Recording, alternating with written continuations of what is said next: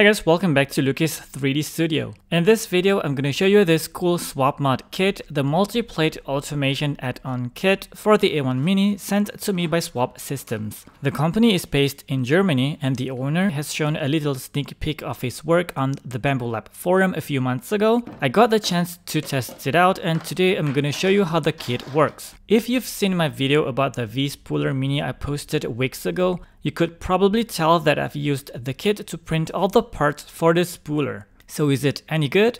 Let's find out. So the kit that I got comes with several pre-assembled components and some printed parts. You also get the screws, some Teflon tapes to protect the heat bed, and a QR code that directs you to a web page with a very detailed instruction guide. So the first thing we need to do is to print some additional parts. So let's do that. Download the file and save that to your computer.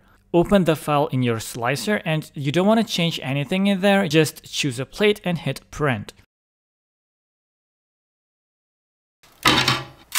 When you're done with the first plate, choose a second and hit print, and so on and so forth. It will take around 6 hours to print everything, the good thing is, you can print all these parts on the A1 Mini itself. I've printed all these parts with PLA and you also want to make sure to deburr the leftover brims so you won't be having any troubles when you assemble the parts together.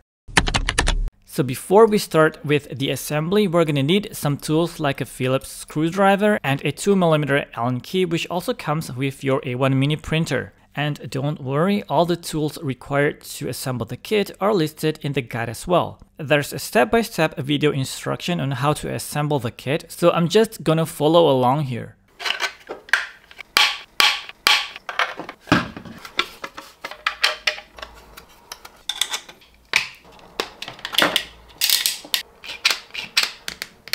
After that we've assembled the parts, it's time to mod the plates. I have three textured PEI plates to start with. You need to mount this holder to the back of the plate. Again, I'm just gonna follow the guide here. Depending on which kit you get, you might have to print the plate holder yourself.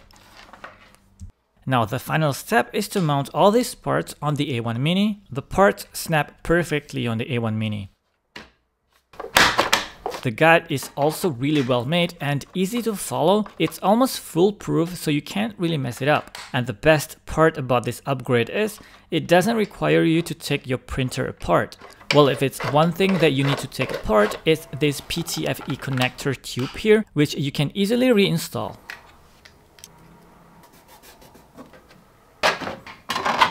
That looks awesome and if I would have to do it again, I probably should have gone with a more subtle color like gray or white.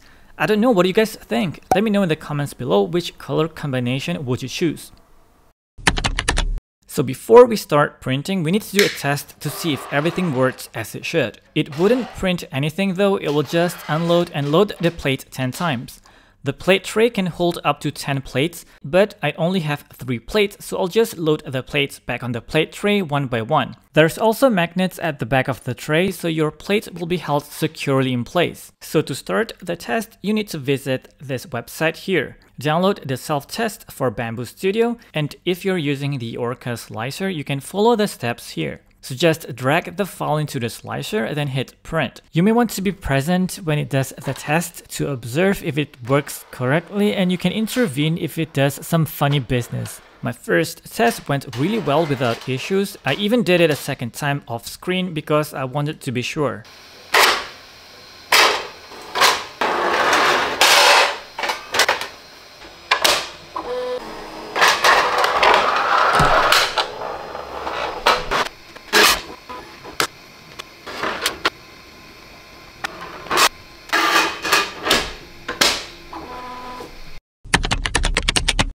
So now comes the fun part. Let's print some cool stuffs. I've always wanted to print this spinning filament swatch display by Brad FTBT3D and you need two plates to print this, so let's download the file and open there in our slicer.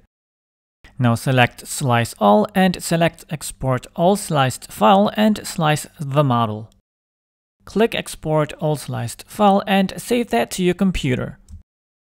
Now go to this website again, then drop the file on this big button here. You'll get to see the models and you can change a lot of settings here. Like for example, let's say you want to print this plate twice and only this plate, just change that to 2. If you don't want to print a specific plate, you can set the number to 0.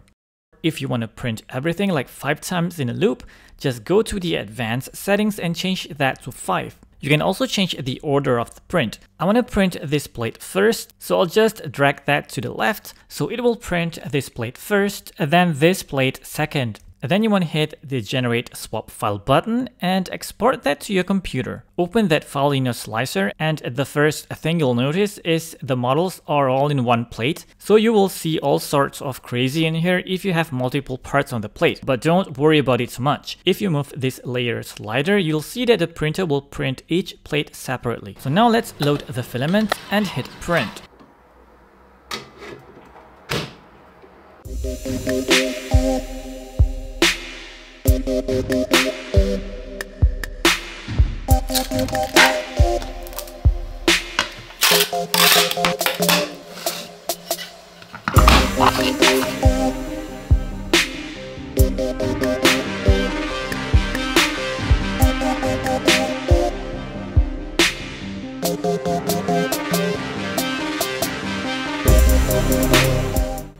That went really well. The printer printed both plates in one setting and the loading and the unloading of the plates went super smoothly. Now let's test out the loop function. I'm gonna print 6 of these Gridfinity boxes plus the base and the lids for them. So let's prepare everything in our slicer, then hit export. Drag that into the generator and then I want to select 2 here. Click generate swap file Open that in the slicer and hit print.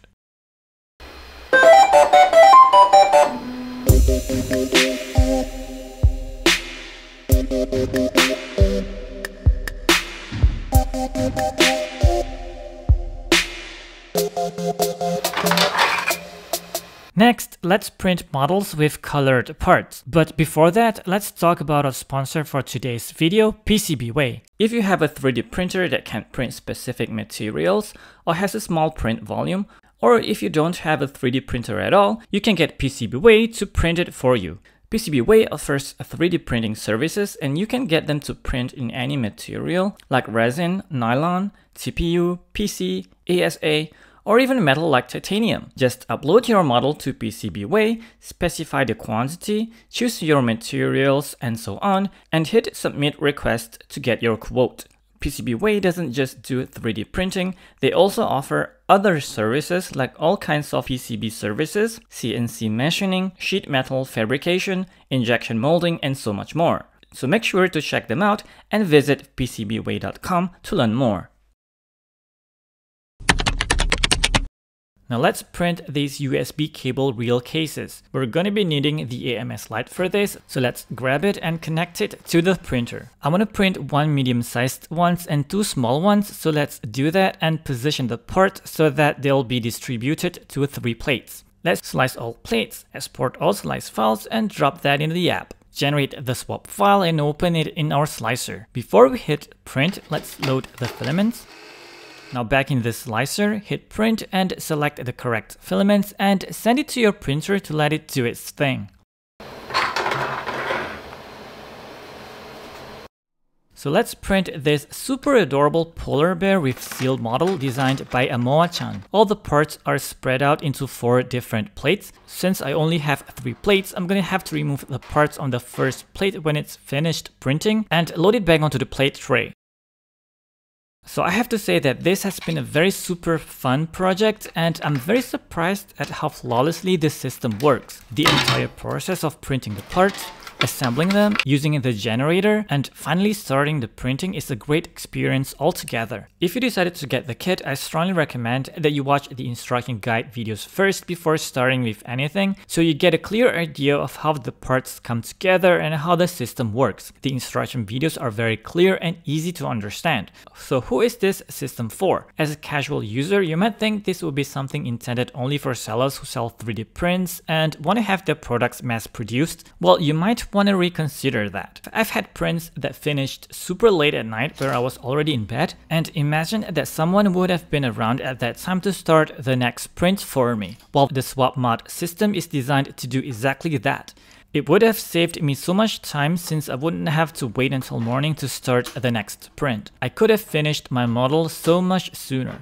The swap mod is only available for A1 Mini for now. I'll leave the link to the kit in the description box below, so go check it out if you want to learn more about the product or if you're interested to get one.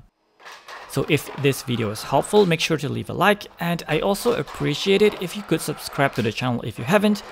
And as always, I'll see you guys next time.